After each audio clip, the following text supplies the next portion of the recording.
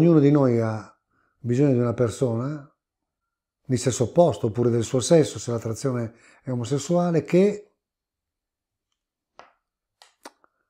lo aiuti ad amplificare il suo destino. Come si fa a sapere se è la persona giusta?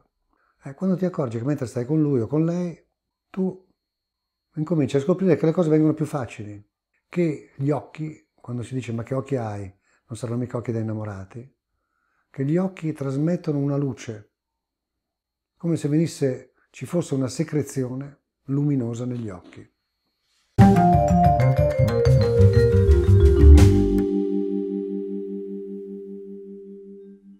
Da molti mesi nelle vostre mail c'è la richiesta di parlare delle relazioni, le relazioni affettive. E allora io e tutti i colleghi di Rizza abbiamo raccolto la vostra richiesta abbiamo fatto la scelta di parlare delle relazioni. Molti di voi chiedono ma come sono le relazioni felici? No, come si superano e si affrontano i momenti difficili nella coppia. E vorrei sorprendervi, ma io e lui o io e lei siamo una coppia? Oppure siamo due individui, cioè due esseri indivisibili che si stanno incontrando? E che in quell'incontro stanno unendo un'energetica che solo la coppia può dare, sia omosessuale che eterosessuale. Solo in coppia possiamo incontrare un'energetica trasformatrice? Sì. Da qui alla parola anima gemella, di cui parlo in questo numero di Rizza, il passo è breve. Gli ebrei chiamano Bashert l'anima gemella, ma la parola anima gemella di fatto la migliore traduzione è destino.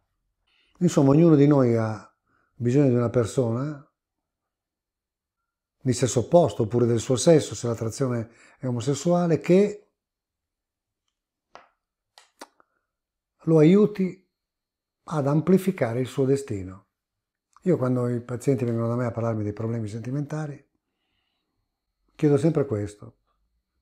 Ah, fa, sa, dottore, mi, chiede, mi dice Michela, io adesso sono innamorata, ma ho tutta la mente piena di tormenti, di come andrà a finire, se funzionerà, se è la persona giusta. Come si fa a sapere se è la persona giusta all'inizio della vicenda? Eh, quando ti accorgi che mentre stai con lui o con lei, tu incominci a scoprire che le cose vengono più facili che il tuo lavoro migliora, che gli occhi, quando si dice ma che occhi hai, non saranno mica occhi da innamorati, che gli occhi trasmettono una luce, come se venisse, ci fosse una secrezione luminosa negli occhi. Voi direte i tormenti? Ecco, questo numero di Riz è dedicato a come affrontare i tormenti, sapendo che qualsiasi coppia, di qualsiasi coppia tu faccia parte, l'evento sei tu. Cosa scopro nello stare con lui o con lei? Cosa scopro? Qual è il sentimento in primo piano che compare? Ma effettivamente sento che lo stare con lui anche da tanti anni mi fa comunque sentire tenerezza. Oppure in primo piano la rabbia. Oppure c'è voglia di scappare. Oppure c'è il lamento di molti di noi che dicono ho sbagliato la persona sbagliata. Ma il tuo benessere dipende dall'altro? O l'altro è come dovrebbe essere?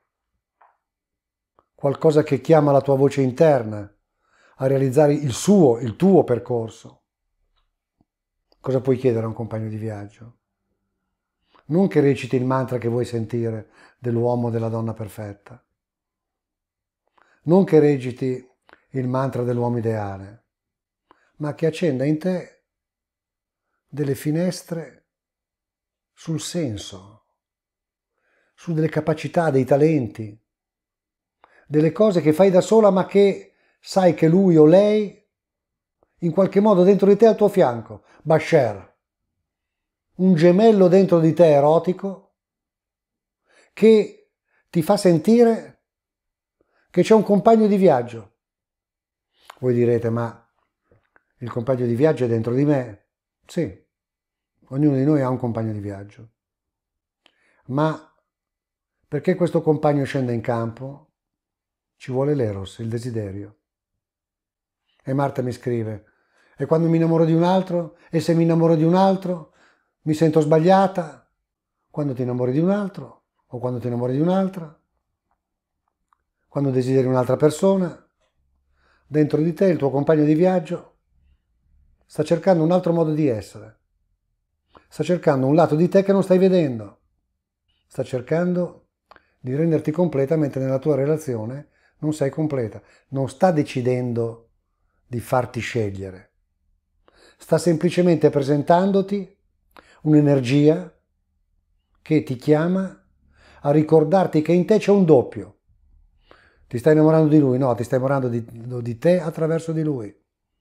La partita cambia radicalmente. L'anima gemella è prima di tutto l'incontro con quella entità misteriosa che abita dentro di te, che c'era fin dalla nascita, tanto è vero che i bambini, i bambini che sono molto più vicini all'anima di noi, quando sono piccoli parlano sempre di un amico sconosciuto, parlano con un amico sconosciuto. I bambini sanno che noi siamo doppi. E nei mille personaggi che recitano quando si, atti- si attaccano alle fiabe, loro partecipano come se dentro di loro ci fosse una moltitudine. E così c'è una moltitudine dentro di te. E quando pensi di dover decidere fra tuo marito o l'altro, fra tua moglie e l'altra, fra il tuo compagno e l'altro o l'altra, quando sei per prendere una decisione come se fosse definitiva, ah, se vivessi con lui la vita sarebbe meglio, o se vivessi con lei sì che veramente sarei felice, stai commettendo un grave errore, perché stai dimenticandoti che quello che ti chiama all'eros, al desiderio e così via, è l'altro che c'è in te.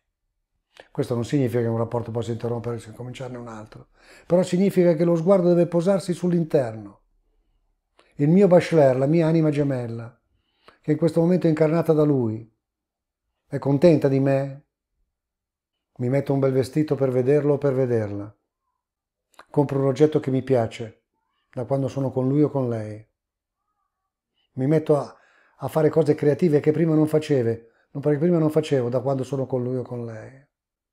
Pensi, mi dice una signora, da quando lo frequento mi sono rimessa a scrivere poesie come mi capitava da ragazza. Ma le poesie le sapevi scrivere. Qualcuno dall'esterno ti ha chiamato per farti fare ciò che ti appartiene e che ti sei dimenticato. Ecco, le relazioni felici sono quelle che centrano il fatto che l'altro con cui vivi l'altra con cui stai, sono semplicemente il richiamo delle tue voci interne, perché tu ti ricongiunga con te stesso. Ecco, allora, quando c'è un problema di coppia, quando c'è una relazione che non funziona, ricordati che spesso in lei vedi le cose che non ti piacciono di te, e vedi le cose che non accetti di te. In lui vedi qualcosa che tu hai rimosso dentro di te. Perché quando noi ci siamo impossessati nostra, del nostro doppio, allora l'altro, se è rimasto così com'è, non serve più, perché non apporta energie allo sviluppo della nostra identità più profonda. Buona lettura.